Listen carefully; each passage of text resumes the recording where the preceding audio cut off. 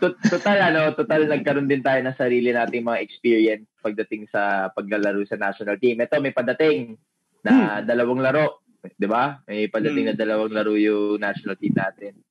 Um, and surprisingly, itong national team na to, hindi man sila part ng under 16 or under 18, pero mag, halos ito yung parang tayo na magkakaedad. Mm. Parang nasa batch to ng at least na magkakalaban to nung college. Tama. Diba? Pagdating sa nila Oftana, uh, the Nieto Brothers, siguro si, si, si Kobe na lang ang pinaka-latest na talagang Mm. hindi nila talagang nakasama.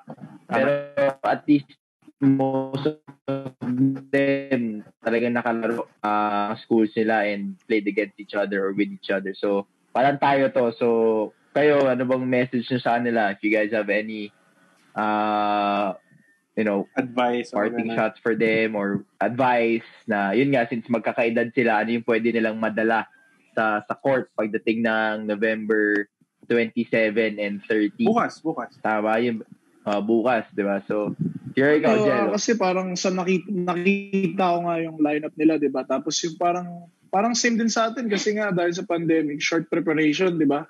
Pero syempre, wish natin sila na all the best. Tapos yun nga, alam maganda ngayon kasi parang mga yung age nga nila. So doon doon sila kukuha ng advantage syempre na mga bata sila. I'm sure system naman, mga best of coaches yan na hawak andun sa kanila. Tsaka syempre, pagka once na bansa yung nasa harap ng jersey mo, sa pa, kumbaga, ma- makakontribute ka, bigay mo yung best mo para sa bansa. Kumbaga, kung itong maliit na bagay na to makakatulong, gawin mo. Gawin mo pang mas malaki, di mas maganda. And syempre, full sila sa mission nila doon. And syempre, wala rin ano, wala rin, iwas mo na rin sa mga positive cases, di ba? Para ingat sila lahat, ingat din. Kala ko kung anong positive yan eh. namo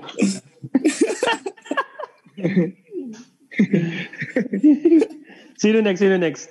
Si Jeron, si Jeron na siguro. Um, siguro yun lang. Sa kanila lang, like sabi ni Jello, you're playing for the country. So, unahin niyo yung um, yung nasa harap ng jersey niyo, which is Pilipinas, and then anything else. And yun lang. Um, importante lang talaga to play together dahil yun nga, um, hindi, hindi magiging madali yan. So, kailangan nyo magsama-sama talaga. And yun lang, just make the country proud. Yun lang.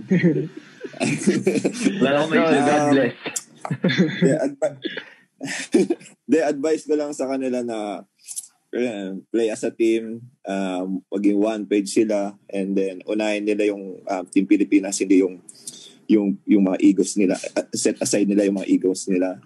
Um, and then, yun, parang yung ano ko, yung pananaw ko na uh, protektahan nila yung bawat isa sa kanila. Kasi um, nasa ibang bansa sila, uh, sila-sila lang rin naman yung nag- magkakasama diyan eh. Ah, kailangan nilang alagaan yung sarili nila, protektahan at ayun, um, magtulong-tulong para makuha yung um, goal nila.